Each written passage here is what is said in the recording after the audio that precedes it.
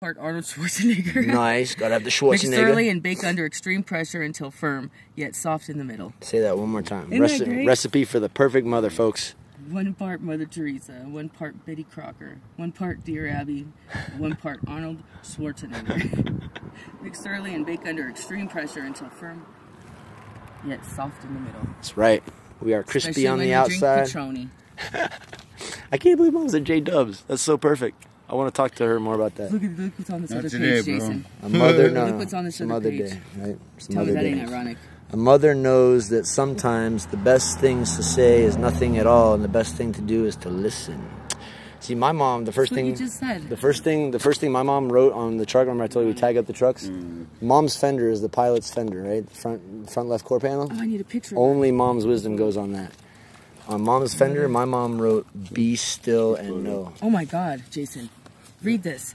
A mother, a vision of godness, of goodness wrapped in sunlight and smiles. That's what all. That's all I saw.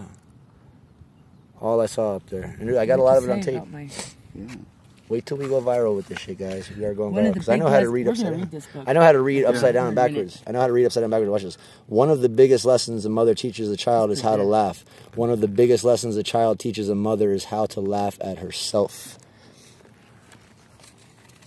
I got this. Always know yourself. ago. This is mm. perfect. I've held on to it all this time, Jay. Mothers help. Oh, Olay. Mothers help their children take first steps across rooms and along the paths of life. Mothers are always with us. What do we have here? To a child, a mom has amazing powers. She can make the scary monster under the bed disappear in an instant she walks into the room. So All the monsters disappear when mom's around. All right.